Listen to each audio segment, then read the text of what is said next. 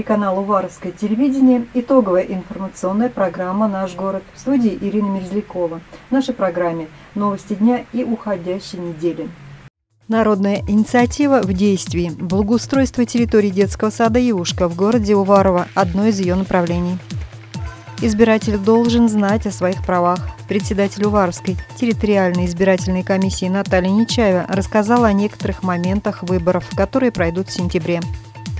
О том, что произошло в регионе за минувшую неделю, расскажет рубрика «Пятница» с обзором материалов официального сайта областной администрации. В завершении выпуска коротко еще о некоторых событиях, которые произошли в городе за неделю.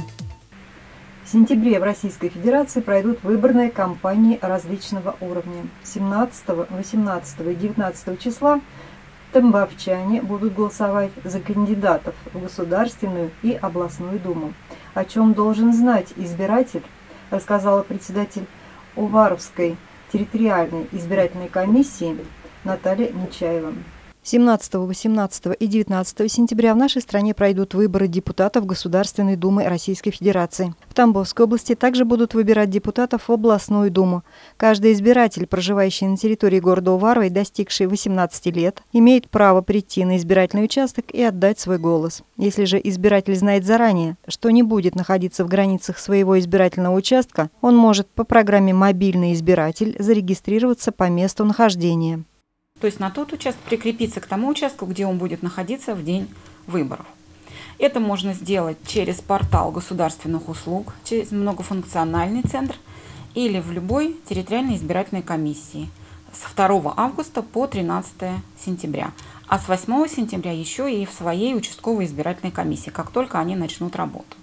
Для этого необходимо с собой принести только паспорт. В условиях пандемии коронавируса выборы будут проходить с соблюдением всех санитарно-эпидемиологических мер с целью ограничения и минимизации контактов. Каждый избиратель будет обеспечен маской, перчатками, авторучкой. Тот, кто по каким-либо причинам не может голосовать на избирательном участке, может заявить о голосовании на дому. И тогда члены участковой избирательной комиссии в любой из трех дней голосования придут и человек свободно проголосует в обычном режиме за того депутата, кандидата, которого он считает нужным и правильным. У нас уже прошла регистрация в Тамбовской областной думу. У нас зарегистрировано по шестому, по шестому округу э, три э, кандидата одномандатника. Все они представители парламентских политических партий.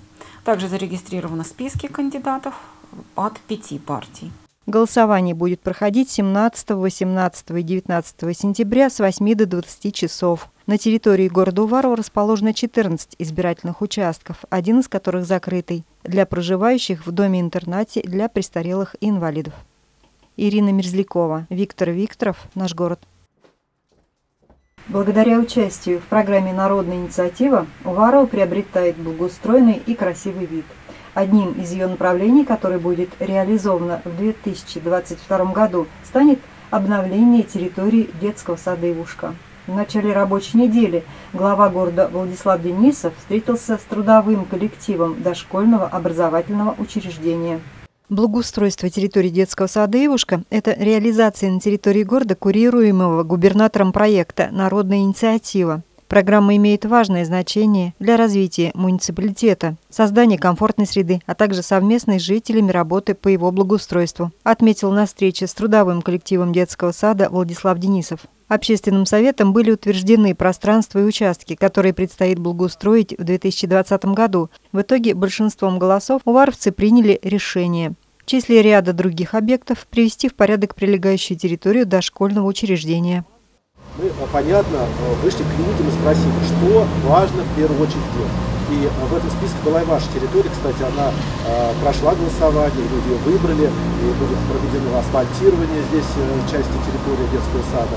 Поэтому очень большие планы, которые мы хотим э, реализовать, э, именно э, развивать все территории города. Городоначальник рассказал, где уже проведено благоустройство, где только предстоит, и поблагодарил присутствующих за работу, отметив, что детский сад «Ивушка» – это одно из передовых дошкольных учреждений образования.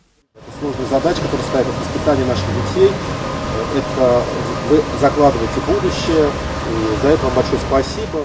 Прибывшие вместе с главой депутата областной думы Алексей Кочетков и Сергей Нелюбов не только интересуются происходящим в городе, но и принимают активное участие во всех делах, контролируя их ход. Народные избранники отметили, что всегда готовы поддержать хорошие начинания. Ежегодно мы принимаем э, бюджет областной, э, собственно говоря, из которого главное, э, чтобы пришло на наш город больше количества денежных средств. Также гости рассказали о своей работе, поделились планами на будущее и приняли к сведению прозвучавшие в ответ пожелания и предложения. Ирина Мерзлякова, Виктор Викторов, Александр Трегубов, «Наш город». Варва – одно из трех десятков муниципальных образований, представляющих административную структуру региона, что происходит у наших территориальных соседей в областном центре, а также удаленных уголках Тамбовщины. В рубрике «Новости региона».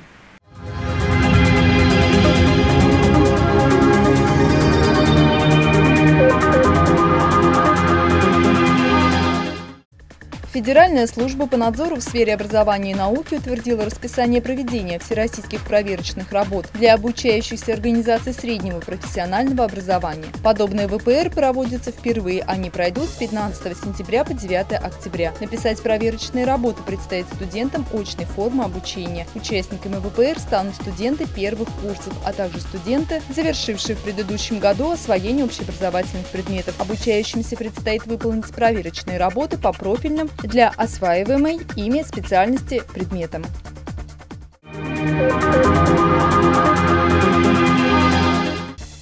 1 сентября вступит в силу закон о гаражной амнистии. Документ призван внести ясность в регулирование вопросов оформления прав на объекты гаражного назначения и земельные участки, на которых они расположены. Реализация нового закона в регионе обсудили в администрации Тамбовской области. На совещании обсуждались вопросы возможности проведения комплексных кадастровых работ. Шла речь об установлении на территории области предельных максимальных цен на эти виды кадастровых работ, учитывающих реальные финансовые возможности населения. Кроме того, были затронуты вопросы разработки необходимых региональных актов, направленных на максимальное содействие гражданам в реализации закона о гаражной амнистии. Росреестром составлены методические рекомендации к федеральному закону. В них подробно рассказывается, как воспользоваться гаражной амнистией за 8 шагов, имеются полезные советы для граждан. Подробно ознакомиться с методическими рекомендациями по гаражной амнистии можно на официальном сайте Росреестра.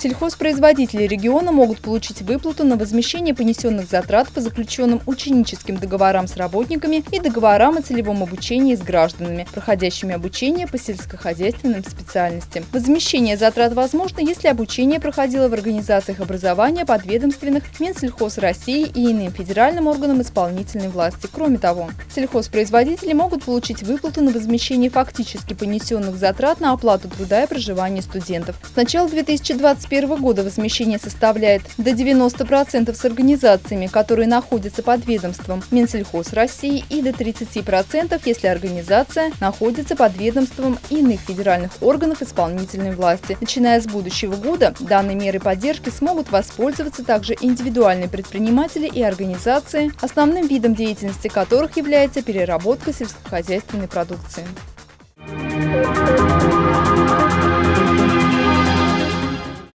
Тамбовская область занимает первое место в России по проценту использования вакцин против коронавируса. Об этом главе региона Александру Никитину на оперативном совещании доложила начальник управления здравоохранения области. Вся полученная вакцина оперативно доводится до лечебных учреждений, чтобы люди смогли сделать прививку как можно скорее. Сроки ожидания зависят от объема поставок из федерального центра. Поскольку наш регион использует вакцины максимально быстро, то Минздрав России увеличивает и объем их поставок. Одновременно с этим внесены изменения в Установление дополнительных мер по снижению рисков распространения новой коронавирусной инфекции на территории Тамбовской области. Гражданам старше 65 лет, гражданам, имеющим определенные хронические заболевания и беременным женщинам рекомендовано соблюдать режим самоизоляции.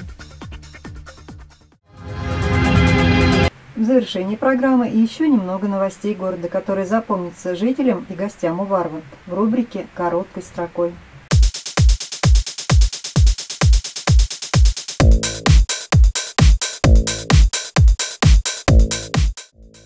Прошлом году префектура Южная города Уварова запустила благотворительный проект «Добро в каждый дом». Добровольцы во главе с префектом Надеждой Чернявской организовали сбор вещей, наладили сотрудничество с социальной службой, поступившие в пункт приема одежду, обувь, постельное белье, посуду, игрушки, а также продуктовые наборы передаются в многодетные семьи или оказавшимся в трудной жизненной ситуации. Перед началом нового учебного года здесь можно выбрать школьную форму.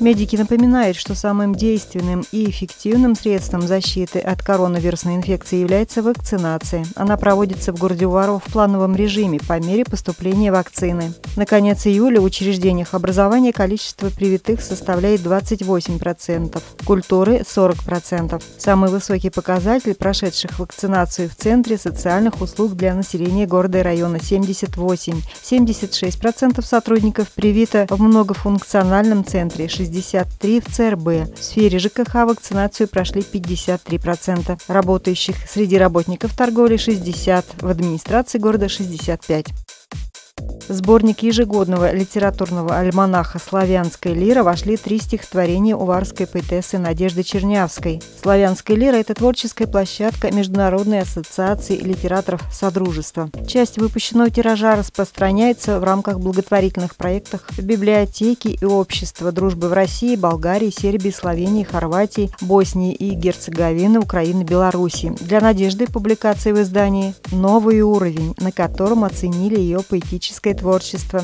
Стихи уже публиковались в газете «Уварская жизнь», в сборниках «Наследие», «Русь моя», «Поэт года», «Стихия жизни». Есть у нее и награды. Звезда наследия, третьей степени медаль Сергея Есенин 125 лет, которая вручается поэтам и писателям за вклад в развитие современной русской литературы. Педагоги лаборатории безопасности и инспекторы ГИБДД провели для воспитанников детского сада «Золотая рыбка» урок безопасности. Дошколята в возрасте от 5 до 7 лет приняли участие в обучающих занятиях по безопасности дорожного движения. С помощью специального оборудования в игровой форме ребята повторили правила поведения на дороге, изучили сигналы светофора, как правильно и безопасно переходить проезжую часть, узнали правила использования велосипедов и самокатов, ознакомились со средствами защитной экипировки. Водителей двух колес колесного транспорта, а также узнали о необходимости использования световозвращающих элементов. Дети с удовольствием принимали участие в тематической игре, а в завершении пообещали соблюдать правила безопасного поведения на улице и рассказывать о них товарищам. На память о мероприятии его участники получили в подарок книги о правилах дорожного движения и светоотражающие брелки.